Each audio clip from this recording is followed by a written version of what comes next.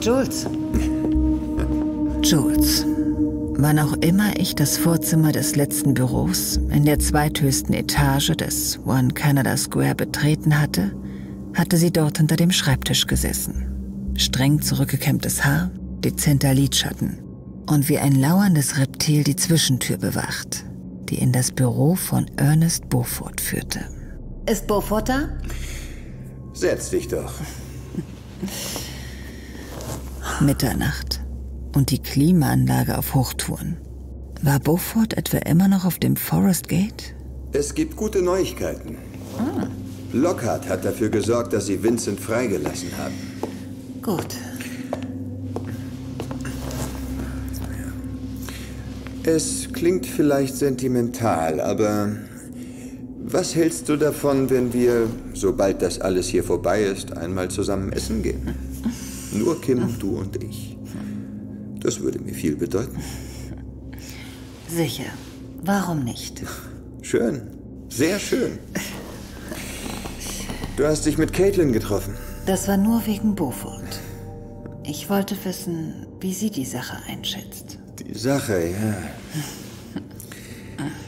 Vincents Leute haben das Zielobjekt lokalisiert. Wo? In der Lesnes-Abtei. In Abbey Wood? Das würde jedenfalls den Weg von Rachel Briscoe erklären. Dr. Rachel Briscoe. Zwei Wochen lang hatten Vincent und ich uns den Kopf darüber zerbrochen, warum sie nach dem Besuch in Aldwych zu Fuß nach Abbeywood gelaufen war. Du hast freie Hand bei der Operation. Vincent und die anderen werden dich begleiten. Wann? Heute Nacht. Was ist, wenn da noch irgendwelche Leute sind? Selbst um die Zeit. Irgendwelche Leute sind kein Problem. Ach, und was Beaufort angeht. Er hatte kein Recht, dir zu drohen. Das habe ich ihm eben gerade unmissverständlich klargemacht. Die Sache mit dem Essen war übrigens ernst gemeint. Ich würde gerne mehr Zeit mit Kim verbringen. Wir werden sehen. Wusste er es? Er wusste es. Aber wieso war Kim dann noch am Leben? Viel Glück.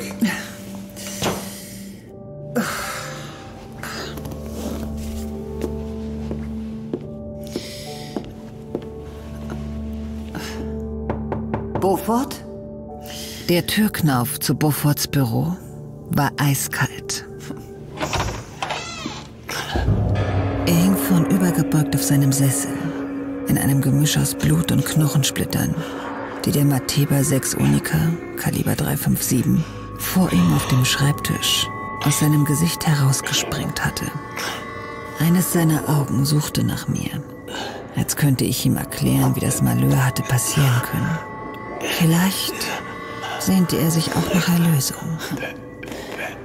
Beaufort.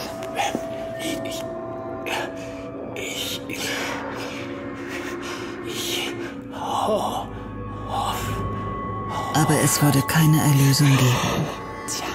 Für keinen von uns.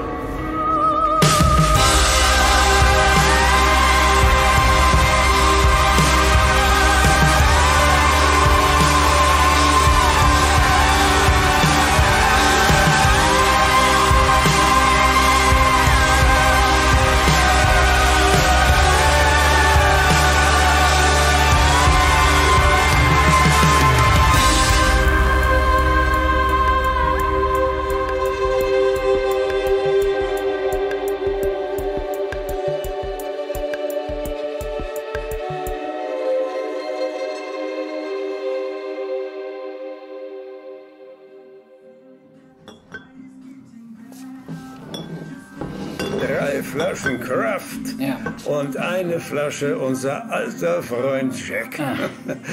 Das macht dann 53 Pfund und 60. Hm, Tut mir leid, Mann. Aber wir verkaufen normalerweise nicht außer Haus.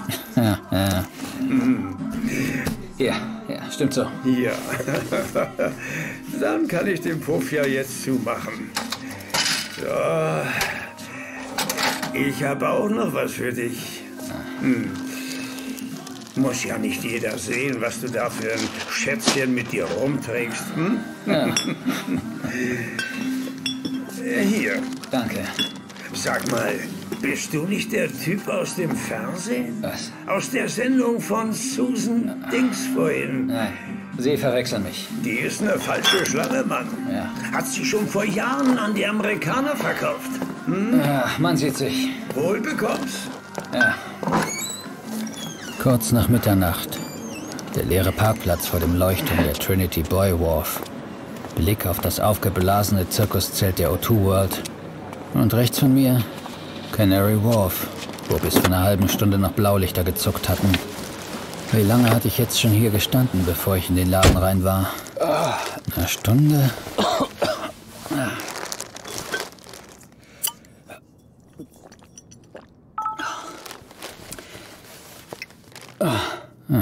Sheila.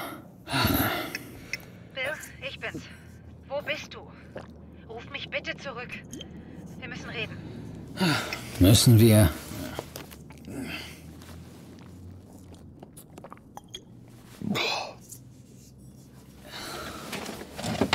Unter dem Beifahrersitz der Aktenordner, den ich bei Big Green rausgeholt hatte.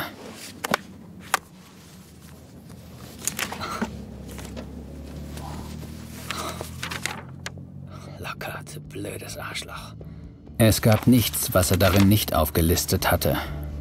Über die Bergungsaktion, über den Würfel, die Versuche von Seaways, die Ermittlungen zu beeinflussen und den Ort, den Rachel Briscoe nach ihrer Rückkehr nach London als erstes aufgesucht hatte. An alle Arschlöcher da draußen. Hier spricht Bill Connolly von wildleaksbill.com. Aldwych Station wartete auf mich.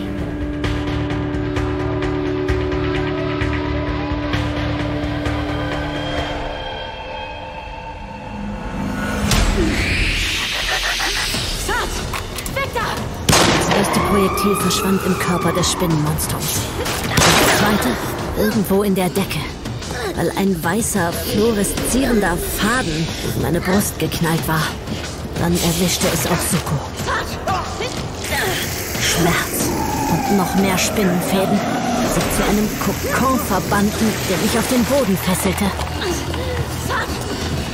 Im Schein der fluoreszierenden Kokons sah ich, wie die Spinne plötzlich über ihm war. Die Mandibeln schlossen sich um seinen Hals und injizierten ihm irgendein lähmendes Gift oder sowas. Sein Kopf sackte zur Seite. Und dann... Spinne ließ von Soko ab. Das Ding, das einmal Deirdre gewesen war, kniete vor Suko und strich mit eitrigen Händen über seinen Körper. Als würde es ihn analysieren. Und kam zu mir.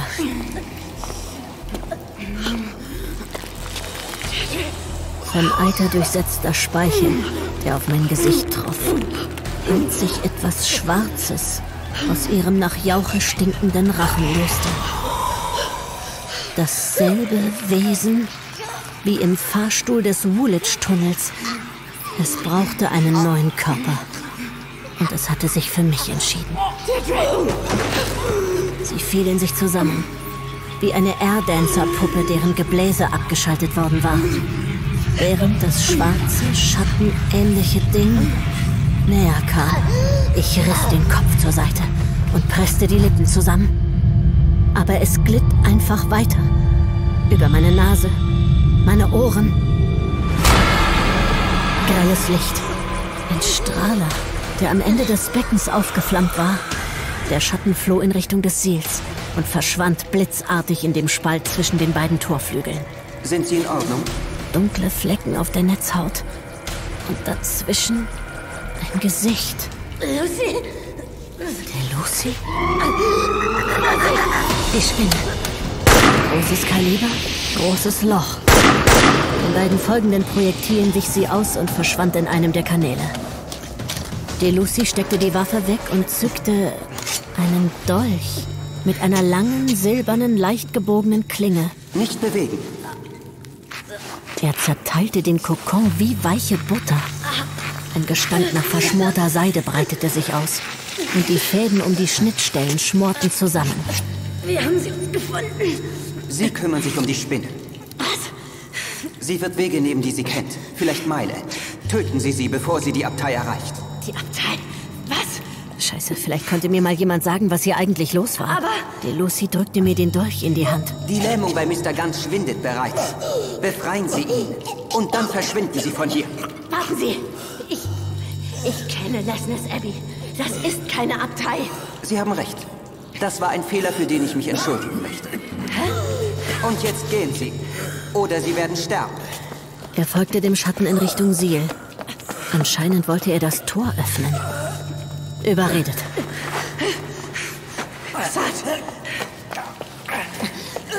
Schön stillhalten, okay?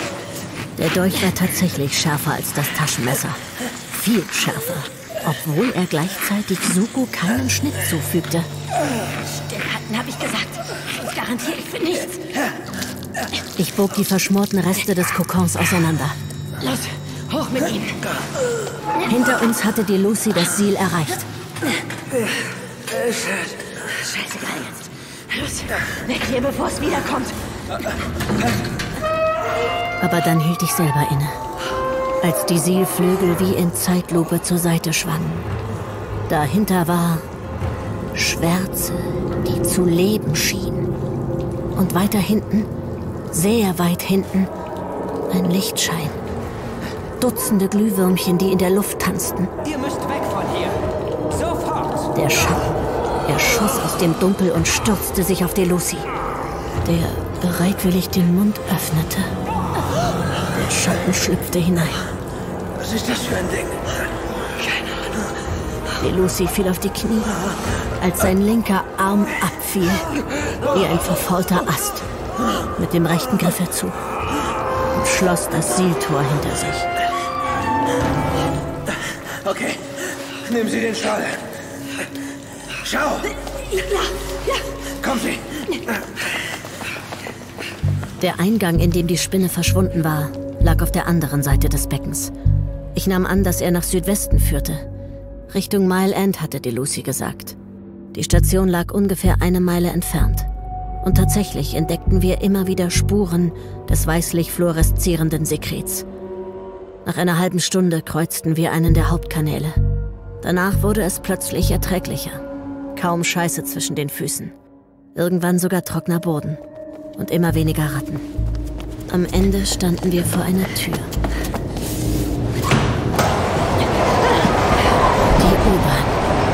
Über den Rücklichtern des letzten Wagens die Aufschrift Ealing Broadway. Der fährt Richtung Innenstadt. Vielleicht hatten wir Glück und die nächste Station war Mile End. Der nächste Zug kommt in zwei bis drei Minuten. Haben Sie eine bessere Idee? Wir lassen den Strahler hier. Wenn der Lokführer ihn sieht, hält er den Zug an. Hoffentlich. Klang logisch. Warum war ich nicht darauf gekommen? Okay. Dann los. Rechts und links nichts als schwarze Wände. Kabelkanäle. Ab und zu unterbrochen von einer Tür mit einer Notleuchte darüber. Verriegelt. Super Notausgang. Das einzige Licht war jetzt Sokos Taschenlampe. Ich stellte mir vor, wie die Spinne aus einer Nische sprang und uns attackierte. Aber alles, was passierte, war, dass das Nebengleis auf einmal hinter einer Mauer verschwand. Die Wände rechts und links schienen immer näher zu kommen. Hinter uns noch kein Zug. Immer noch nicht. Immer noch nicht. Sie nach vorne, verdammt! Scheiße. Los, weiter! Keine Panik. Kein Zug. Keine Panik. Immer noch kein Zug. Keine Panik. Ein Zug. Panik. War der Lokführer blind oder wieso hatte er den Leuchtstrahler nicht gesehen? Suko, der plötzlich neben mir lief. Ein grünes Zugsignal vor dem Lichtschimmer von Mile End, der viel zu weit weg war. Suko, der mich zur Seite riss. Metall. Eine Fluchttür. Hinter uns raste der Zug vorüber. Die einzelnen Fenster wie Stroboskopblitze. Dann Dunkelheit.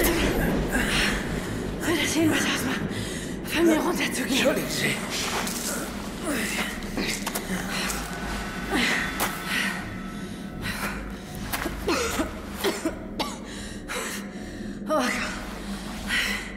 Woher wussten Sie, dass die Tür offen ist? Wusste ich nicht. Wir standen in einem kurzen Korridor. Zehn Yards entfernt eine weitere Tür.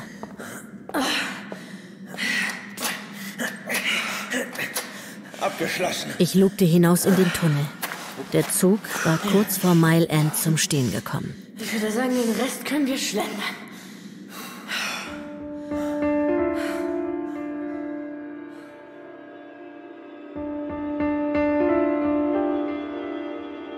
Auf dem Bahnsteig drängten sich die Passagiere, obwohl es gar nichts zu sehen gab.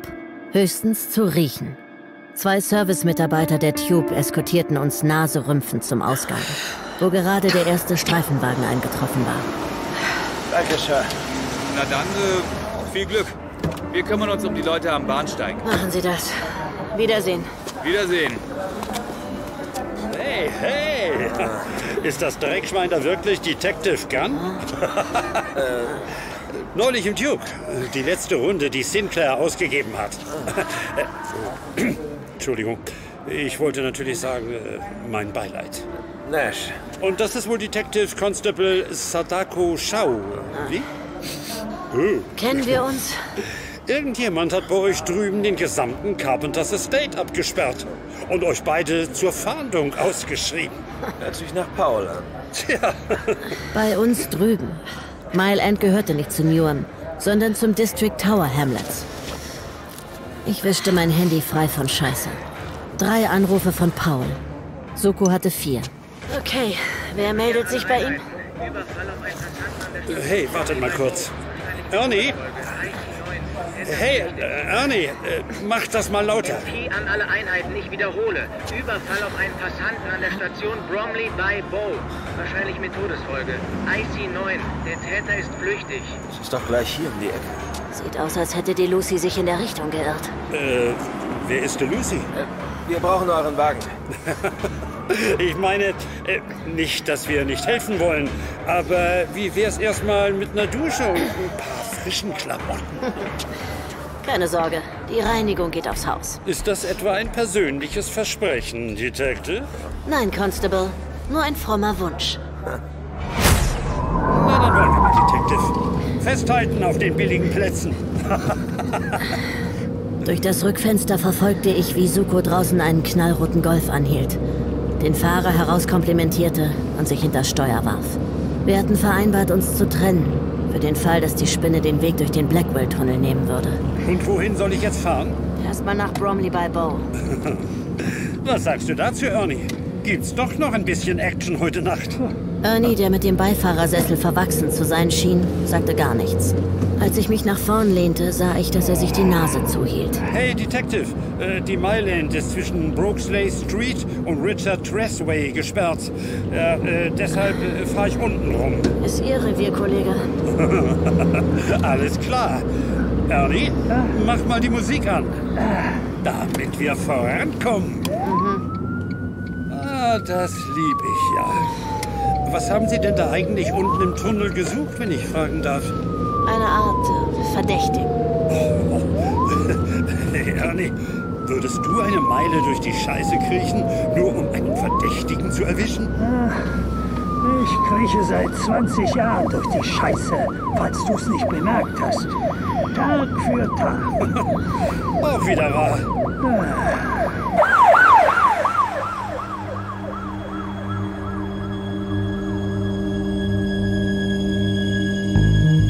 Wir waren nicht die erste Streife, die am Bahnhof Bromley by Bow eintraf. Blaulichter zuckten über die Brücke, unter der die Bahngleise verliefen. Auf dem Bahnsteig diskutierten ein paar Kopper, während einer von ihnen sich gerade in einem Knollabsperrband verhedderte. Ich schlüpfte an ihnen vorbei und fand etwa 150 Yards Richtung Osten im Gleisbett den ersten Fuß. Verdammte Scheiße. Hey, Detective. Brauchen Sie Hilfe? Geben Sie mir mal Ihre Taschenlampe.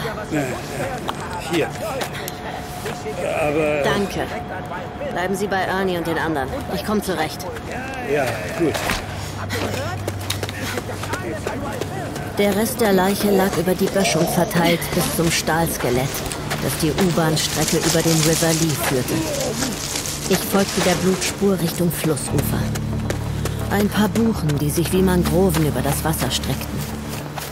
An einem Anleger auf der anderen Seite, in dem jetzt ein Hausboot dümpelte, hatte ich als Teenager oft abgehangen und Gras geraucht.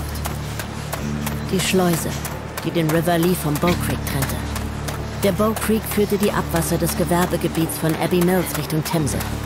Aber wenn die Lucy recht hatte, würde die Spinne weiter dem River Lee folgen, Richtung Silvertown. Garth, was gibt's? Ich habe gerade mit Soko gesprochen. Er ist jetzt im Tunnel. Keine Spur von dem Ding, das Sie beide suchen. Klar.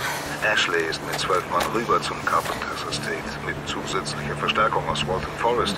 Sie haben den gesamten Tower durchsucht, aber von Costellos Leuten war keiner da.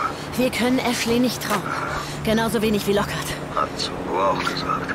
Aber ich muss die beiden im Spiel halten, wegen Hammerstead. Außerdem habe ich Hubschrauberunterstützung angefordert. Ist gerade eingetroffen, schätze ich. Sagen Sie ihnen, Sie sollen den River Lee Richtung Süden absuchen. Und geben Sie ihnen meine Nummer. Außerdem muss jemand von uns nach Bromley by Bow, bevor da endgültig alles plattgetrampelt wird. Aber bitte nicht Lockhart und... Nicht Lockhart und Ashley, schon verstanden. Ja. Das ist sowieso eine Sache für Dr. McNulty und ihr Team. Ja, Viel Glück. danke. Ich steckte mir das Headset ins Ohr, als mein Blick an der Oberkante der Schleusenwand hängen blieb und an dem fluoreszierenden Gespinst, das dort flatterte. CW148 an KF854. Detective Constable Shaw, hört Sie mich? Bin ganz Ohr. Ich glaube, wir haben da was. Kurz vor der Schleife der Limop-Peninsula.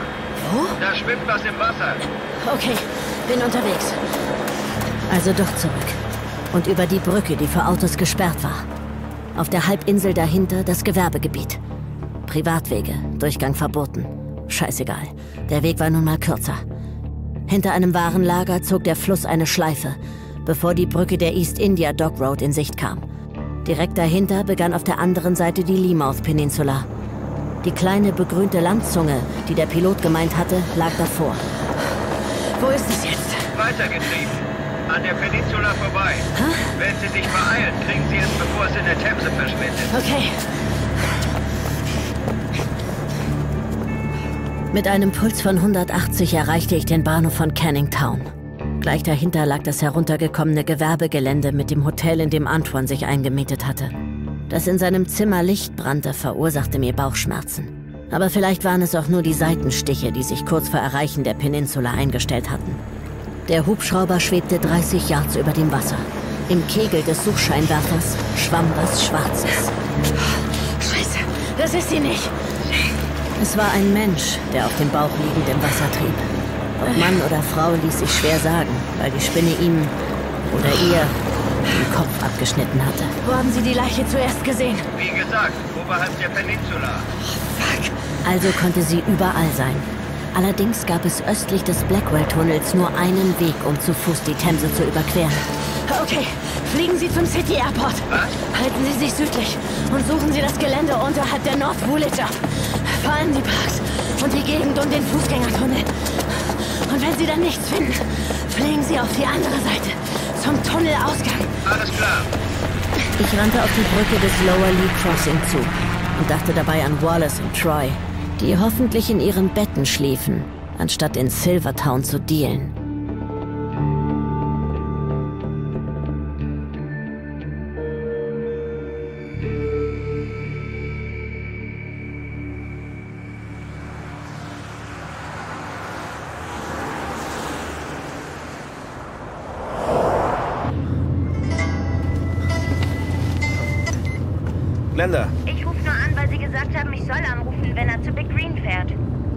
Ja. Er ist gerade wieder raus. Mit leeren Händen und ziemlich wütend. Soll ich weiter an ihm dranbleiben? Nein, nein, nicht nötig. Machen Sie Feierabend. Ich glaube, ich fahre ins Büro und penne da. Geht sowieso in ein paar Stunden wieder los.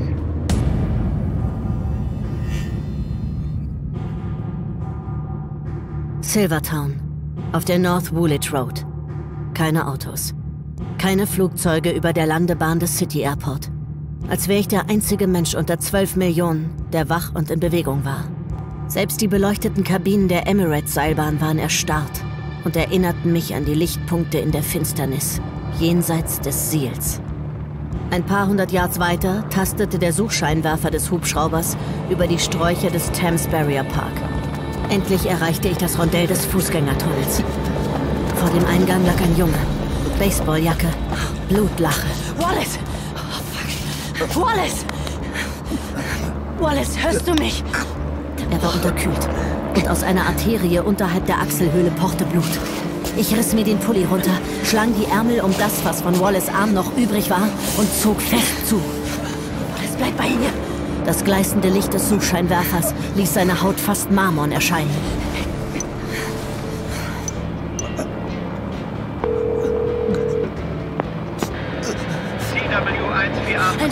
Schwerverletzter, direkt am Tunneleingang.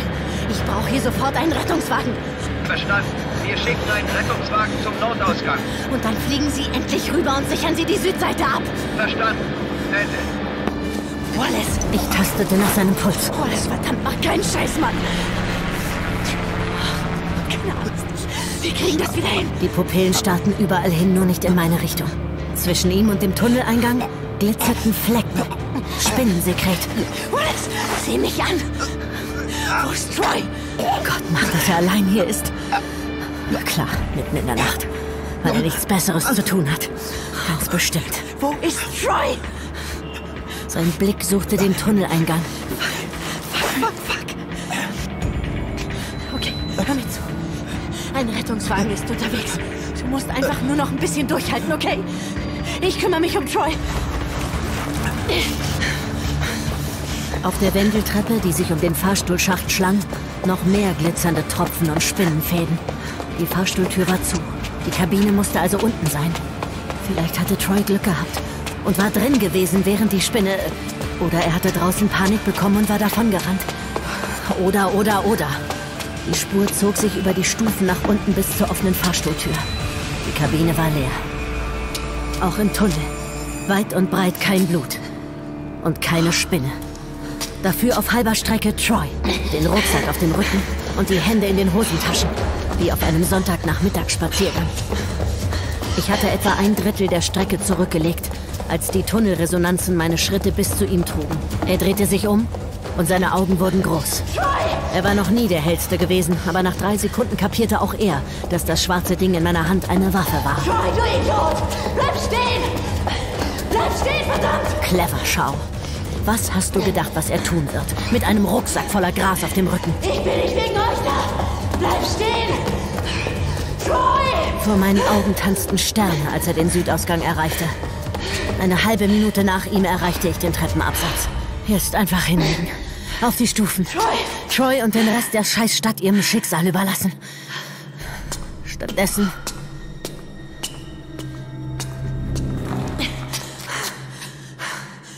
Troy?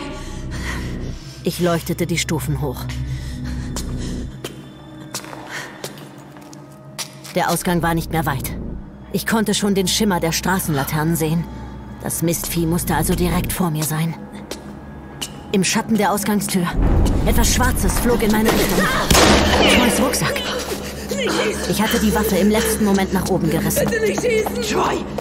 Troy! Scheiße, bist du in Ordnung? Troy! Ich schlug seine Jacke auf. Flüchtiger Blick. Kein Blut. Mann, wieso bist du nicht abgehauen? Hm? Troy! Bitte, da ist so ein Typ mit seinem Wagen und, und, und ein Hubschrauber. Ich dachte, ihr wollt mich fertig machen. Hast du sie gesehen? Wen? Als du aus der Kabine raus bist. Boah, was stinkt hier eigentlich so? Sie das etwa, Detective? Hier, nimm deinen Scheißrucksack und lauf zurück zu Wallace. Zu Wallace? Hey, der deine Hilfe braucht. Aber der ist Jetzt doch... mach und verpiss dich endlich, bevor ich es mir anders überlege. Okay, klar, Detective.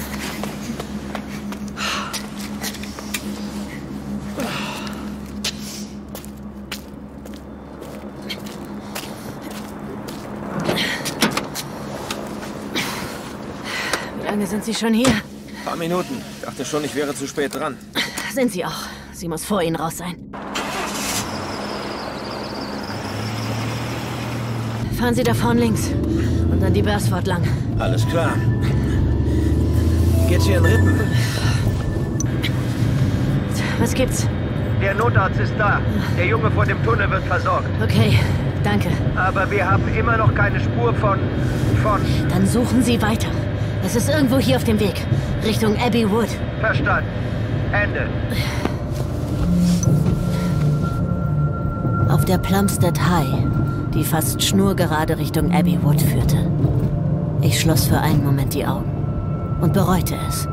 Denn sofort sah ich wieder den Menschenkopf mit dem gespaltenen Gesicht vor mir. Wir jagten ein Monster, das einmal ein Mensch gewesen war oder eine Spinne. Wie war dieses Ding entstanden? Und wo hatte es so lange wachsen können, bis es das Gewicht einer ausgewachsenen Seekuh erreichte? Das Geflecht aus Tubifex-Würmern, die seltsam großen Ratten. Hatte der Schatten, der Deirdre besetzt hatte, die Monstren geschaffen? Ein Spinnenfaden auf der Kühlerhaube. Ich konnte das Scheißvieh nicht mal sehen, als der Wagen auch schon auf die Gegenfahrbahn schleuderte. Direkt vor uns der einzige 30-Tonner weit und breit.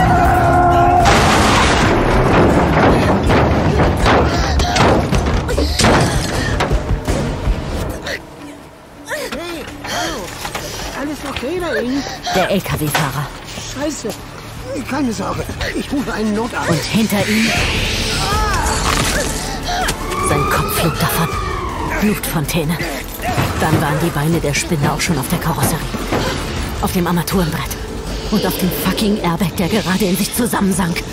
Der gespaltene Schädel starrte mich an. Schau! Schau, alles okay? Ja. Sie war weg. Ich hatte noch gesehen, wie eine der Kugeln ihr den Kiefer zerfetzt hatte. Dann war sie von der Kühlerhaube gesprungen. Können Sie sich bewegen? Die Tür klemmt. Ich komme hier nicht raus, Schatz. Ich komme hier nicht raus. Ganz ruhig. Ich komme rüber. Ich bin sofort bei Ihnen. Er versuchte, die Tür zu öffnen. Dabei stieß sein Fuß gegen den Kopf des LKW-Fahrers. Er kullerte durch die Blutpfütze. Können Sie aus dem Sitz raus? Ich, ich glaub schon. Die Tür ist verzogen. Sie müssen rüber auf meine Seite. Versuchen Sie, die Beine frei zu kriegen. Okay, sehr gut. Und jetzt raus. Ich hab Sie, alles klar. Und jetzt noch die Beine.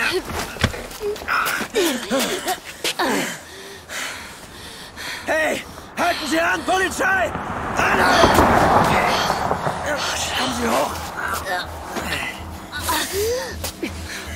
Was läuft hier? Wo ist die beschissene Verstärkung? Mein Handy lag unter dem Airbag. Zersplittert.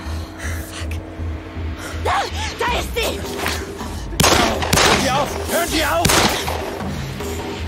Sie war da, unter dem LKW. Vorne oder hinten? Hinten, glaube ich.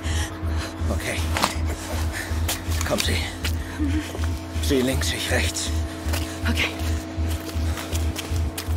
Er verschwand auf der anderen Seite. In der Mitte des Auflegers bückte ich mich. Zwei Beine. Suko. Blick nach vorn. Nach oben zum Dach. Auf das Hinterrad. Anscheinend ist sie schon weiter. In Richtung Abteil. Kommen Sie. Was denn in die Karre?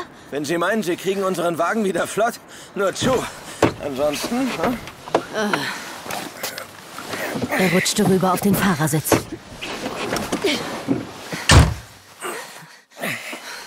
Können Sie so ein Monster überhaupt fahren?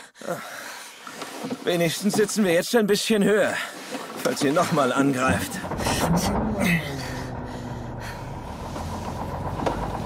Im Außenspiegel sah ich, wie die Schaufensterscheibe eines Imbiss näher kam. Sarge! Was war das? Hot Chinese Meals to Takeaway. Schätze, aber so haben die das nicht gemeint. Der Arsch des Anhängers löste sich aus dem Schaufenster und nahm alles mit, was nicht festgeschraubt war. Soll ich vielleicht raus und Zeichen geben? Nicht, dass ich mich drum gerissen hätte, aber Kommt jetzt auch nicht mehr drauf an. Perfekt. Wo haben Sie das gelernt? Autoscooter.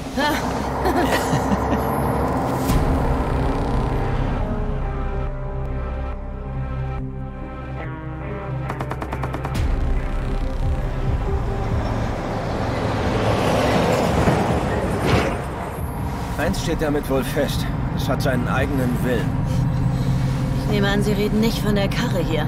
Vielleicht folgt sie einer Spur, einer Art Geruch oder so. Und das Wurmgeflecht? Und der Schatten, der Deirdre besetzt hat? Die leuchtenden Punkte in der Finsternis hinter dem Siel? Suko warf mir sein Handy zu. Hier, rufen Sie Paul an. Er soll dafür sorgen, dass der U-Bahn-Verkehr ausgesetzt wird. Die DLR auch? Aha. DLR, Tube, Overground. Alles, was unterirdisch oder irgendwo zwischen Stratford und Aldwych unterwegs ist. Das wird das totale Chaos. Tja, Ich schaltete den Lautsprecher ein und wählte Pauls Nummer. Es brauchte nicht viele Worte, um ihn zu überzeugen. Ach ja, und noch was, Gav. Ich will echt nicht drängeln, aber was ist jetzt mit der Verstärkung? Angeblich gibt es Probleme mit dem Funkverkehr. Angeblich? Ich kümmere mich darum. Bleiben Sie in der Leitung, ich stelle die Verbindung zu. Hallo? Gav? Genau wie in der Nacht, als John gestorben ist. Was? Der Funkverkehr. Da war es angeblich ein Serverausfall, der das System lahmgelegt hat. Genau in der Zeit sind die falschen Kopper der City of London Police am Anleger aufgetaucht. Die Falle? Kurz vor der Explosion? Hab's im Bericht gelesen. Es gab keine Falle. Aber Und keine Kopper, sagt Hammerstead. Es wurde sogar abgelehnt, eine Phantomzeichnung anfertigen zu lassen. was?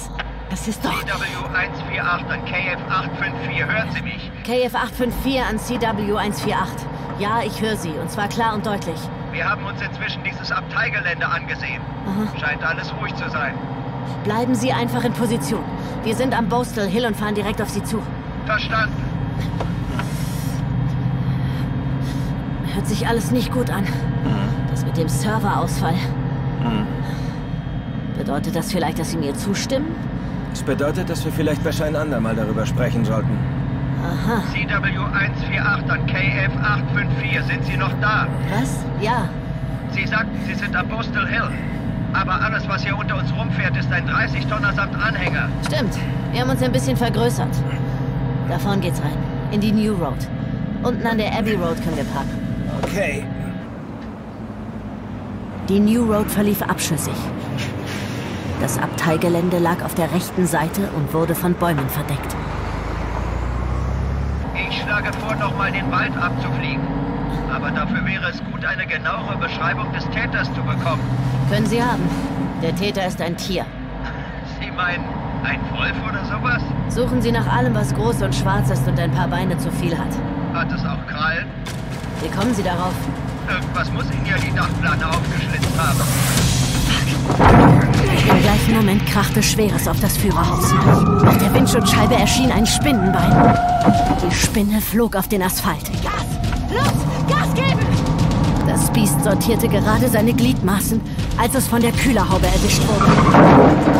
Ja, wir haben es! Ich wartete auf das Geräusch eines brechenden Chitinpanzers. Aber Scheiße, haben wir es erwischt? Ich denke schon. Okay, fahren Sie weiter runter zur Abbey Road. Ein Faden klatschte gegen die Beifahrerscheibe, gefolgt von der Spinne.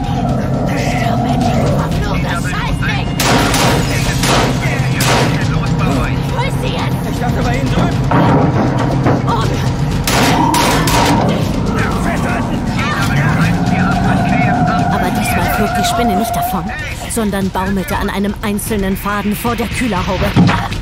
Ein zweiter Faden schoss gegen die Scheibe. Die schwarzen Augen starrten mich an. Sie hat recht. Das Scheißding ist intelligent. Wir müssen die Fäden kappen. Der Dolch. Okay, ich gehe raus. Was? Ich kapp die Fäden. Und Sie geben Gas, wenn's drauf ankommt. Bevor er widersprechen konnte, war ich draußen und lehnte mich über die Kühlerhaube. Der erste Faden. Dann der zweite. Blieb ein letzter, der unter dem Gewicht der Spinne zitterte. Sie musste irgendwo unterhalb der Kühlerhaube lauern. Die Klinge berührte ihn gerade, als er sich spannte und die Scheibe aus dem Rahmen fetzte. Ich versuchte mich am Türrahmen festzukrallen und griff daneben. Auf dem Asphalt rollte ich mich ab und warf den Dolch. Treffer! Ich sprang zurück ins Führerhaus. Der Laster ruckte an, aber zu langsam. Plötzlich war die Spinne an Sukos Seite. Scheiße! Suko riss das Steuer herum. Die Spinne schien über dem Führerhaus zu schweben, als das Vorderrad gegen die Verkehrsinsel an der Abbey Road krachte. Und ich segelte an der Spinne vorbei, auf die Reihe der parkenden Autos. Hinter mir räumte der Laster die PKWs ab wie eine Reihe Kegel. Der Anhänger rettete mir das Leben, indem er 10, 12 Jahre neben mir in die Hausfassade krachte den Aufleger und das Führerhaus mit sich zog. Der Vorgarten war übersät von Computerbildschirmen und rosa Riesenteddys. Ein Buchsbaum war mit Büstenhaltern geschmückt. Soko kämpfte sich aus den Trümmern. Sind Sie okay? Da tauchte der Hubschrauber auf. Der Lichtkegel irritierte das Ungeheuer. Und dann... Gleich das erste Projektil hatte die Spinne zurückgeschleudert. Die MP-Garde folgte ihr über die Hausfassade in Richtung Buchsbaum. Ich warf mich hinter einem der Autos in Deckung. Die Spinne aber schleuderte ihre Fäden. In Richtung Hubschrauber. Einer geriet zwischen die Blätter des Heckrotors. Der zweite und der dritte trafen Kufe und Cockpit. Panisch versuchte der Pilot, die Maschine abzufangen. Aber da blockierte der verklebte Rotor endgültig. Die Maschine rotierte um die eigene Achse und schmierte ab. Der MP-Schütze flog wie eine Puppe aus der offenen Tür und knallte gegen einen der Wagen. Die Maschine schrammte über den Asphalt. Rotorblätter knickten ab und zerrissen Autos, bis sie endlich 100 Yards weiter als ein Ball aus Stahl und Glastrümmern zu liegen kam. Die Spinne war mitgeschleift worden, bis sie die Fäden gekappt hatte und, eine weißliche Sekretspur zurücklassend, wie ein Blitz in Richtung der Abteiwiese verschwand. Kümmern Sie sich lieber um den Piloten.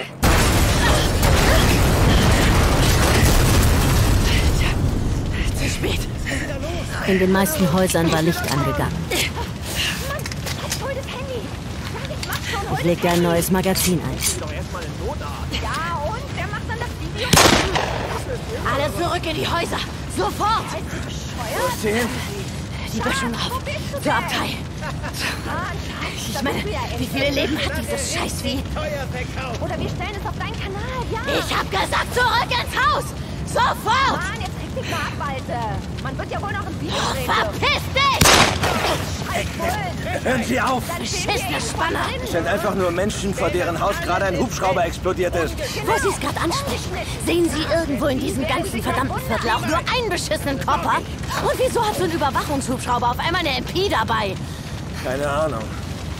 Schön. Dann holen wir uns das Scheiß wie eben allein. Halt! Hä? Zuerst mal holen wir uns diesen komischen Dolch.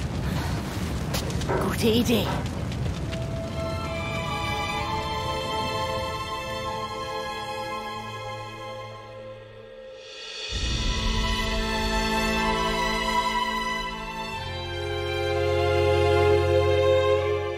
Wir fanden ihn oberhalb der Verkehrsinsel auf dem Asphalt.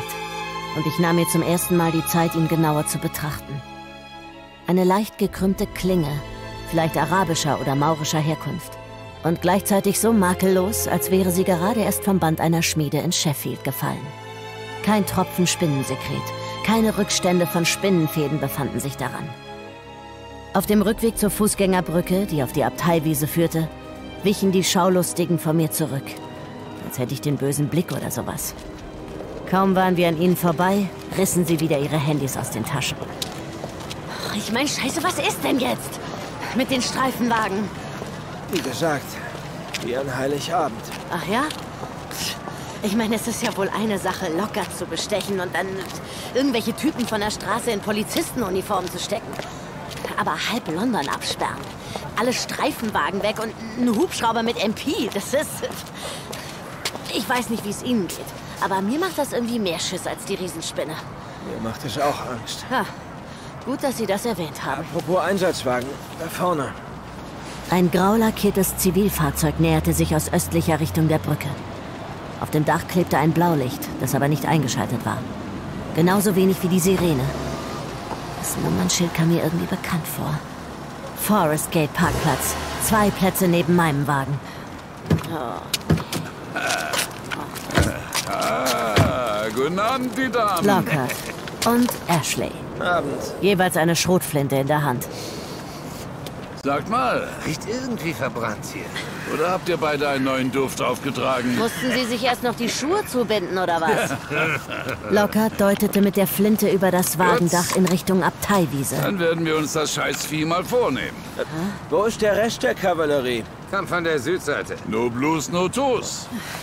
Es war Pauls Anweisung, dass sie sich anschleichen sollen wie Indianer auf dem Kriegsfahrt. Doch Bullshit. Sie meinen, Aldous und ich sichern die Ostseite. ich werde auch ein Auge nach Süden haben. Bevor sich die Krieger von der Firearms Unit da wahrscheinlich schon gegenseitig auf den Füßen stehen. Sicher ist sicher. Und wir? Sie kommen von hier aus. Sobald Sie das Zeichen geben, rücken wir vor. Ist schließlich Ihre Operation. Detective-Praktikantin. Wie wär's, wenn Sie nach Hause fahren und sich ins Knie ficken? Uh, ein Versuch ist es wert. Hä? Soll das vielleicht ein Witz sein? Was passt Ihnen denn wieder nicht? Wo ist die tote Fliege auf der Torte? Spucken Sie es schon aus? Woher wissen Sie von der Spinne? Wusste ich nicht. Das hörte sich eben aber anders an. Wirklich? Hast du Spinne gesagt, Aldous? Kann mich nicht erinnern. Ich Idiot dachte natürlich, es wären Menschen gewesen, die das Ding da hinter Ihnen vom Himmel geholt haben. Aber wenn Sie sagen, dass wir Tarantula jagen... Und da haben Sie beide mal eben zufällig das passende Besteck mitgebracht. Äh, praktisch, oder? Ist aus meinem Privatfundus. Es hat mir erlaubt, mich zu bedienen. Das ist noch ein anständiges Repetiergewehr. Nicht so eine schwuchtelige Gasdrucklader-Scheiße. Hm. Bleiben Sie am besten immer einen Schritt hinter mir. Da kann Ihnen nichts passieren. Okay, auf geht's. Zehn Minuten ab jetzt. Wer das Spinnding zuerst erwischt, darf morgen Abend in Duke frei saufen. Na komm, holen wir uns dieses Scheißding. Wir sehen uns. Was sollte denn der Auftritt? Die Munition haben Sie noch.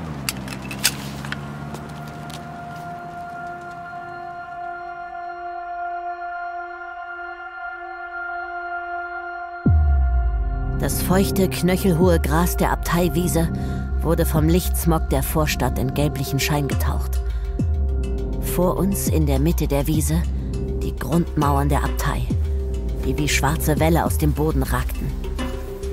In jeder Mauer gab es mindestens einen Durchbruch, der vielleicht einen früheren Eingang darstellte. Zu einem dieser Durchbrüche in der südlichen Grundmauer führte die Sekretspur. Die Wiese hinter der Mauer leer. Wir teilen uns auf. Sie gehen links an der Mauer lang, ich rechts. Wenn Sie das Ende erreicht haben, geben Sie ein Lichtsignal. Ja. Wir treffen uns in der Mitte wieder, genau hier beim Tor. Sarge, glauben Sie, was Lockhart gesagt hat? Dass die Firearms Unit das Gelände von der Nordseite abriegelt? Nein. Wir sehen uns auf der anderen Seite. Am Absatz der Mauer, die zum Ende hin abflachte, wucherte Heidekraut. Der Boden war uneben, sodass ich versucht war, die Taschenlampe einzuschalten. Dann dachte ich an Lockhart und Ashley und ihre Waffen und ließ es bleiben. Nach einer halben Minute erreichte ich das Ende der Mauer. Keine Spinne auf dieser Seite. Ich wechselte auf die andere Seite und gab das Lichtzeichen. Und sah die Spinne. Jedenfalls glaubte ich, dass sie es war. Ein schwarzer Berg, der sich ungefähr in der Mitte, nur wenige Yards vom Durchbruch entfernt, an die Mauer kauerte. Sukos Schatten. Auf der anderen Seite. Er blieb fünf Yards von der Spinne entfernt stehen. Ich auf meiner Seite genauso. Jetzt war die Lampe wohl doch eine gute Idee. Die schwarzen, dürren, behaarten Beine schienen den Lichtkreis zu fürchten und schmiegten sich an den glänzenden Panzer, an dem Sekretreste und Fetzen fluoreszierender Spinnenseide klebten. Die Spinne blutete aus mehreren Wunden. Leuchten Sie ihr mal ins Gesicht. Der klaffende Spalt. In einer Fratze wie aus Pappmaché. Die Lider schoben sich über die verschleierten Augäpfel. Sie machte keine Anstalten, uns anzugreifen. Sie weiß, dass sie stirbt. Mein herzliches Beileid. Stehst du uns? Äh, Kannst du sprechen? was? Woher kommst du? Der Mund bewegte sich. Kaum wahrnehmbar, Als gäbe es da tatsächlich so etwas wie eine Erinnerung daran, wie man sich artikulierte. Wie bist du entstanden? Die Beine glitten zur Seite gaben den Blick auf den Panzer frei. In dem glitzernden Fleisch unter der aufgerissenen Chitinfläche pulsierte etwas. Eine Art Herz? Sie versteht, was wir sagen. Der Dolch. Warten Sie. Die Spinne versuchte sich zurückzuziehen. Aber hinter ihr war die Mauer. Stecken Sie ihn weg. Vielleicht bekommen wir noch ein paar Antworten von ihr. Sie wollen mit ihr plaudern? Vielleicht über den Schatten der Dead. Ashley! Sind Sie bescheuert? Nicht zu fassen. Sie hatten tatsächlich recht, was dieses Ding angeht. Er drückte die Mündung gegen das Loch, das die Schrotladung in den Kopf der Spinne gerissen hatte. Die Mandibeln zuckten, wie unter einem letzten Aufflackern der Ganglien. Dann lag der Kadaver still. Wird einen ziemlichen Rummel geben. Ich meine, falls jemand außer uns davon erfährt. Wo ist Lockhart? Und wenn wir schon dabei sind, wo ist eure ach so tolle Firearms-Unit? Sie hätten das ja nicht sehen sollen. Wirklich nicht. Niemand von uns hätte das. Runter mit der Waffe, Ashley. Tun Sie es lieber. Wissen Sie was? Lockhart hat mir nie erzählt, mit wem er bei Seaways Kontakt hatte. Das lief immer nur über ihn. Was? Und Hammerstead. Hammerstead? Aber was ich weiß ist, dass es auch bei Seaways Leute gibt, die Zweifel haben, ob... Er hatte auf einmal nur noch ein Auge, in dem sich so etwas wie Erstaunen spiegelte. Für mich lief alles wie in Zeitlupe ab. Das dumpfe Klatschen, mit dem das Geschoss an Ashleys Hinterkopf austrat und Blut und Knochensplitter in die Nacht flog. Das Rascheln seines Hosenbeins, als die Flinte daran zu Boden glitt. Den Aufprall des Leichnams bekam ich nicht mit, weil Suko mich zu Boden gerissen hatte. Nicht aus! Zwischen die Beine des Spinnenkadavers. Sind Sie okay? Wie viele sind es? 445. Und sie kommen näher. Lockert. Auf jeden Fall zwei aus Nordwesten. Und mindestens zwei aus nördlicher Richtung. Wir müssen hier weg. Sein Blick flog über die zweite Steinmauer. Wohin geht's da? Ist die Mauer vom Kirchenschiff. Dasselbe nochmal auf der Nordseite. Und überall gibt's diese Durchgänge, oder was? Wenn wir es durch die Mauern auf der Nordseite schaffen, schaffen wir es vielleicht in den Wald. Sie laufen vor. Ich gebe Ihnen Feuerschutz. Aber... Nehmen Sie Ashley die Flinte ab und alles, was er noch an Waffen dabei hat. Sie haben zehn Sekunden. Okay. Im Schulterholster eine Smith Wesson 9 mm. Und in der Jacke ein Ersatzmagazin. Außerdem eine Schachtel Patronen für die Remington. Alles klar. Bereit? Bereit. Dann los! Es war fast wie Joggen. Der eigene Atem, der eigene Herzschlag. Nur, dass ich außerdem ein paar Haken schlug. Und Glück hatte, weil sich das Feuer auf Suko konzentrierte. Unversehrt erreichte ich den Durchgang in der Grundmauer der Abteilpförtchen. Ein paar Yards links von mir war die Mauer an kleineren Stellen eingefallen, sodass man die Spalte als Schießscharten benutzen konnte. Ein Gegner 30 Yards nordöstlich, an der Mauer hinter der Suko kauerte. Und in Deckung. Zum nächsten Spalt. Der nächste Gegner. Suko war aufgesprungen und rannte auf mich zu. Was er jetzt brauchte, war ein bisschen Blendwerk zur Ablenkung. Ashley Smith Wesson. Mitten in der MP-Gabel eine Schrotflinte. Lockert. Sarge! Hierher!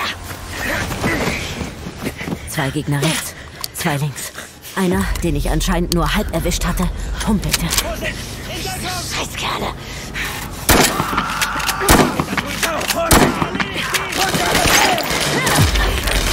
Was soll das? Sind Sie lebensmüde? Haben Sie die Flinte gehört? Das ist Lockhart. Sie verschwenden unsere Munition. Wenn wir hier rauskommen wollen, müssen wir darüber. Er deutete auf den Spalt, hinter dem die Ladies Chapel gelegen hatte. Wenn wir da durch sind, müssen wir nur noch über die äußere Mauer und, dann raus. Wir sind hier hin. Sarge! Sarge! Sarge, verdammt! Sarge! Da drüben ist sie! Ich warf Suko einen letzten Blick zu, klemmte die Schrotflinte unter und rannte. Mit der Beretta blind feuernd auf die Ladies Chapel zu. Eine MP-Gabe folgte mir, aber die Geschosse erwischten mich nicht. Bis auf eins. Schmerz. In der rechten Schulter. Dann überall. Bis der Körper gegensteuerte. Mit Adrenalin. Der verdammt besten Droge überhaupt. Die alles veränderte. Die Mauern ringsum, die zu Wänden wurden. Säulengestützten Bögen. Mit einem Dach darüber. Das Gras in meinem Rücken. Oder zu kaltem Stein. Ich lag auf Fliesen, die mit insektenähnlichen Symbolen geschmückt waren. Inmitten der geschlossenen, von brennenden Fackeln erhellten Abteikirche. Du verlierst vielleicht den Verstand, aber du wirst hier nicht sterben. Hoch mit dir! Die Fliesen. Alles war so, wie ich es in Erinnerung hatte. Bis auf den Mann am Eingang. Schwarze Jacke. Sturmhaube. Die geschmeidigen Bewegungen. Vincent Costigan. Ich suchte Schutz hinter einer der Säulen. Zehn Schritte bis zum steinernen Altar. Und zur Ladies Chapel. Vielleicht acht.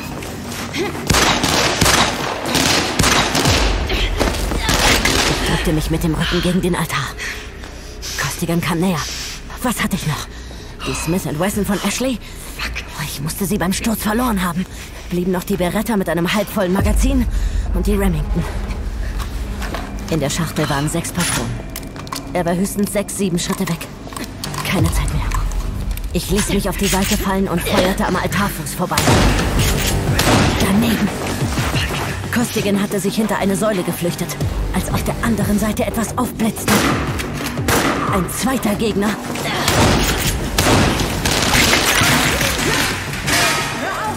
Eine Frau? Geben Sie auf, Detective Schau. Nur noch zwei Patronen. Und sie würden hören, wenn ich die Remington nachlud. Wer sind Sie? Geben Sie auf und Ihnen passiert nichts. Sie haben zehn Sekunden. Schuhe mit Gummisohlen. Aber ich hörte trotzdem, wie sie die Positionen wechselten, um mich zu verwirren. Wie fremd sich auf einmal alles anfühlte. Aussah, Drei, als wäre die Welt in Zwei. Falschfarben getaucht. eins. Okay, ist ja gut. Weg mit der Flinte. Ich ließ die Remington hörbar fallen und umfasste die Beretta fester. Schieben Sie sie rüber, sodass wir sie sehen können. Klar. Zufrieden? Und jetzt die Pistole. Und danach kommen Sie langsam raus. Mit erhobenen Händen. Es klang fast aufmunternd, so verständnisvoll. Erledige sie, Vince. Bitch! Ich federte hoch, schoss, während ich in Richtung der Ladies Chapel sprang. Costigans Kugeln folgten mir. Querschläger wie Meteoritenschauer. Der Türrahmen splitterte. Dann war ich durch, warf mich zu Boden, wälzte mich herum und schoss blind, was das Magazin hergab. Hinter den kleinen Altar. Netter Versuch, Detective. Ich nehme an, das war's jetzt? Stimmt. Das war's. Vince? Ich blickte auf das kleine Fenster über dem Altar. Die Dunkelheit dahinter. Ende der Scheißgeschichte.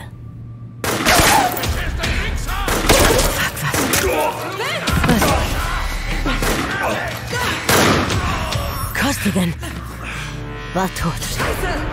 Okay, fast tot. Ich wälzte ihn von mir runter und entriss ihm die MP. Die Frau weg. Und vor dem Hauptaltar lag Lockhart! Lockhart! sein Bauch ein roter Springbrunnen.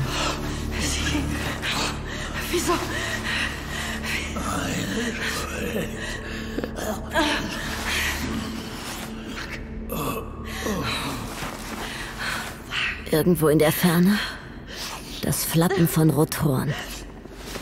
Bravo. Und dann sah ich das Loch. Da, wo eben noch der kleine Altar der Ladies Chapel gestanden hatte. Er war einfach weg. Und stattdessen ein Lichtschimmer, der aus der Tiefe empordrang und ein weiches Viereck an die Decke zeichnete. Das Herz des Mädchens. Entweder war ich übergeschnappt oder tot. In beiden Fällen konnte ich genauso gut nachsehen. Stufen aus grob behauenen Steinquadern. Eiskalt unter meinem Arsch. Schmerzwellen wie Migräne. Und frische Luft, die in Bewegung war. Durchgewirbelt wurde wie von einer Klimaanlage.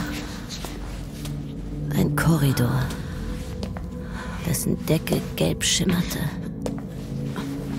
Die Wände aus blank poliertem Metall. Mein Spiegelbild. Ich sah scheiße aus. Am Ende des Korridors lag eine Tür. Sie glitt fast geräuschlos zur Seite. Dahinter befand sich ein weiterer Gang. Mit fugenlos glatten Wänden. Dann wieder eine Tür. Die Füllung verschwand in der Metallwand, ohne einen sichtbaren Schlitz zu hinterlassen.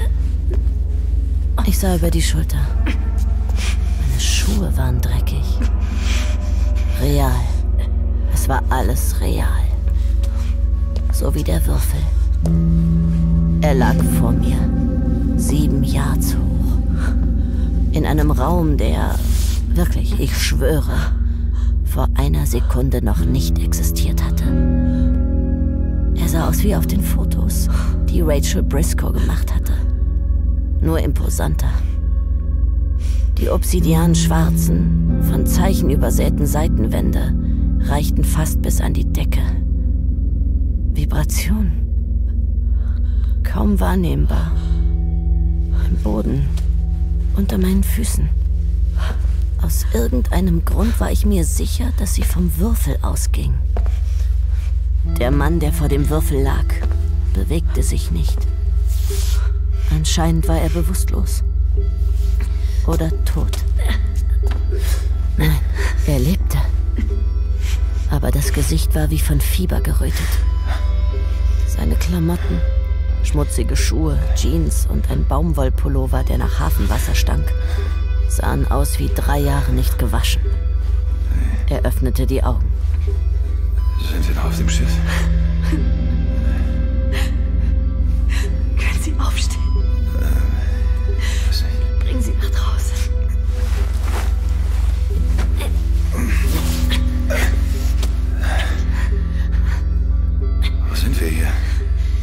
Gewölbe unterhalb der Lessness-Abteil.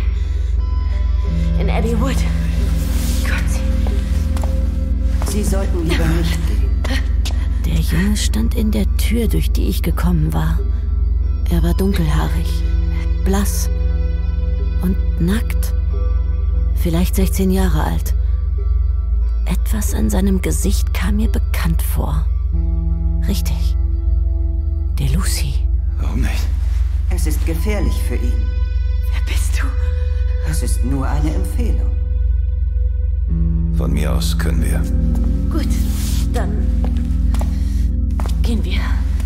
Ich nahm den Mann an die Hand und der Junge machte uns widerstandslos Platz. Ich wünsche Ihnen viel Glück. John Sinclair.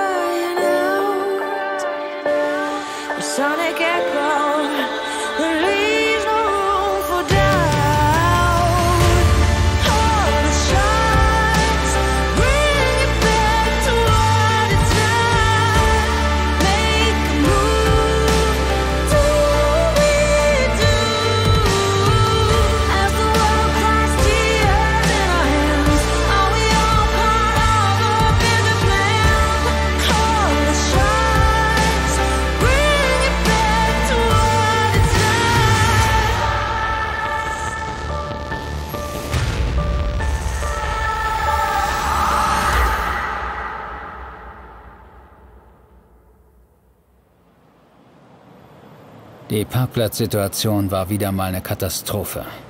Auf der Nordseite der Surrey Street reihte sich Stoßstange an Stoßstange. Und im Süden fielen die Parkplätze gleich ganz weg, wegen der verdammten Großbaustelle. Als bräuchte die Welt nichts dringender als die nächsten 40 Etagen fucking Coworking Space. Okay. An der Westseite der Temple Gardens, zwei Steinwürfe weg von der U-Bahn-Station, fand ich endlich eine Lücke, die ich mit einem kleinen Rangiermanöver geschickt erweiterte. Ups. Die halbleere Jack Daniels Flasche ab unter dem Beifahrersitz. Lockharts Aktenordner war im Kofferraum besser aufgehoben.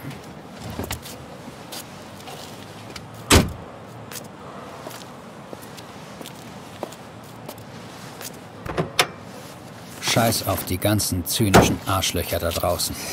Scheiß auf Susan Wade. Susan fragt. Frag mich, Susan. Frag. Scheiß auf.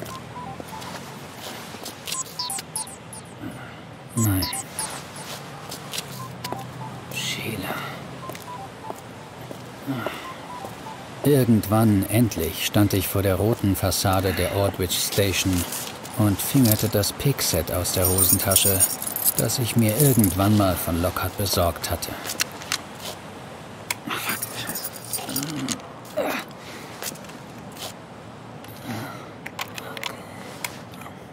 Oh, scheiße, verdammte Axt.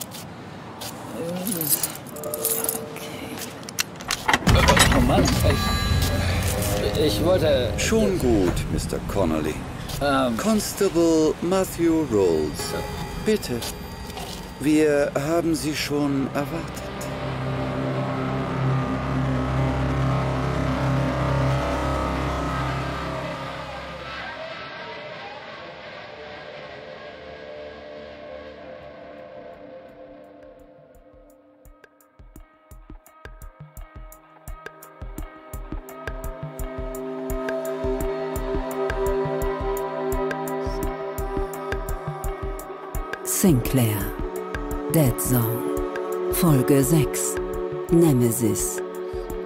Hörspiel von Sebastian Breitbach und Dennis Erhardt.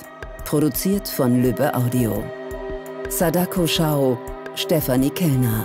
Suko Gun, Gerrit Schmidt-Voss. James Powell, Peter Kämpfe. Bill Connolly, Robert Kotula. Vincent Costigan, Johannes Steck. Pamela Scott, Bianca Kral, Glenda Perkins, Lotta Doll, Deirdre Watkins, Toini Runke, Randolph Scott, Nicolas König, Richard DeLucy, Dirk Petrik, Troy, Tim Kreuer, Wallace, Leon Blaschke, Verkäufer, Henry König, Ernie, Herbert Tennigkeit, Schaulustige, Susanne Demirjan, Jesse Grimm, Jonas Minte, Matti Krause sowie Detective Inspector John Sinclair, Torben Liebrecht. Dialogbuch und Sprachregie Dennis Erhardt. Schnitt, Audiogestaltung und Mischung Ear to Brain Productions Sebastian Breitbach.